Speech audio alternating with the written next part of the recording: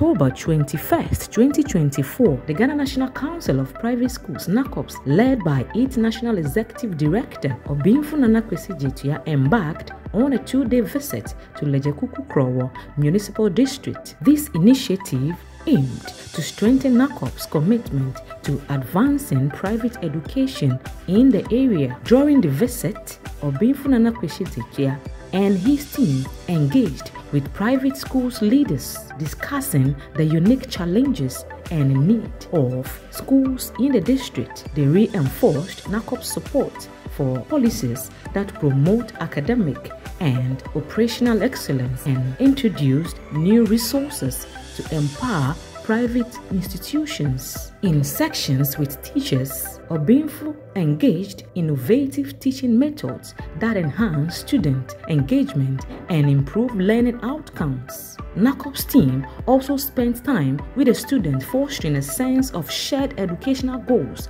and inspiring them to excel. The team introduced attendees to UEW NACOP's program. This program offers private school educators the chance for advanced training through the University of Education Winneba equipping them with vital skills to uplift education standards across Ghana's private schools. As the visit concluded, NACOPS left with renewed partnership and strengthened commitment to supporting private education. These visits exemplify NACOP's dedication to empowering private schools in Ghana through collaboration, development programs, and continuous focus on quality improvement.